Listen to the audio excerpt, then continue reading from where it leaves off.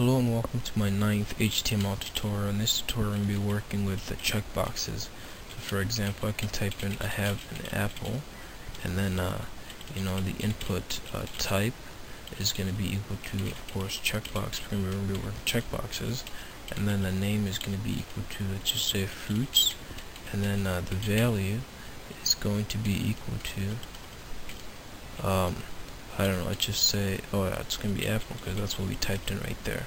So, um, that's that right there. And then, um, you know, we've made the first one, so let's go ahead and make a break. And uh, let's go ahead and go to the second one. Uh, let's just copy this. And of course, the second one, we're to change it.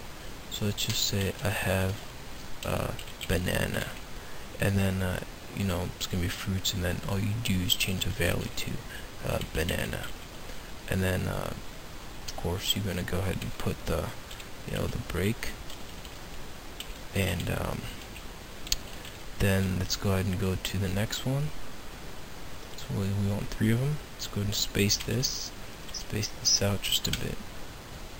And, um, you know, for the fourth one, let's say I have uh, strawberry actually let's just say have a blueberry. And um, right here we're gonna put blueberry.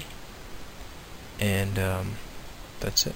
Then you go and change your you go and close your form. And um, let's go ahead and save this.